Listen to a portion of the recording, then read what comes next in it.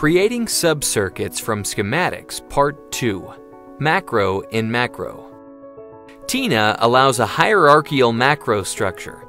That is, macros can contain other macros inside and so on.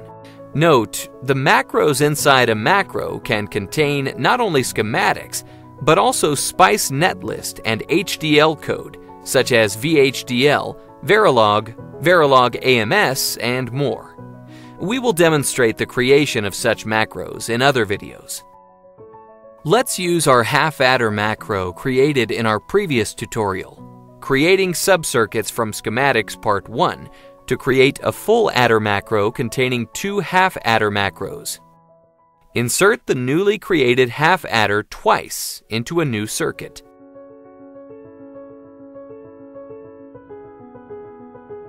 Then add the additional components and wires as shown on the picture.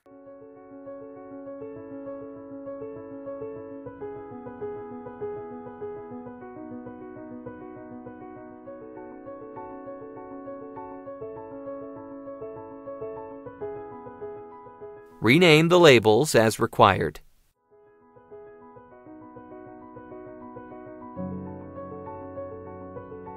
Add the OR gate.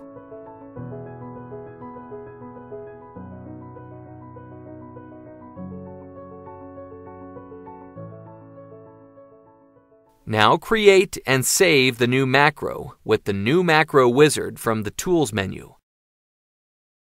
Note, although the automatic symbol creation is very convenient, you can also create your own schematic symbols with Tina's Schematic Symbol Editor and assign macros to them. Let's use this feature with an existing symbol.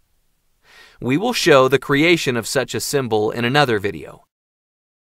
Select New Macro Wizard from the Tools menu. Enter the macro name, Full Adder.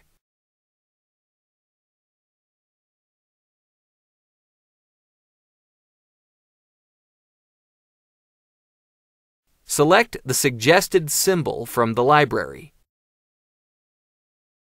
Then set the file name and press Save. The new full adder macro is ready to use. Let's insert the newly created macro and check its content.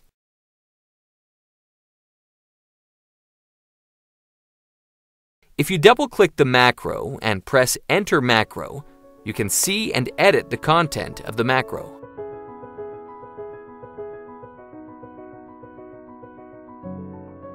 For more tutorials, visit our website at www.tina.com slash english slash tina slash video underscore tutorials. Download the demo version of Tina Design Suite and you will get an immediate 20% discount from the offline version of Tina, free license for your second computer, laptop, etc one year free access to Tina Cloud, the cloud based, multi language, installation free online version of Tina, running in your browser anywhere in the world.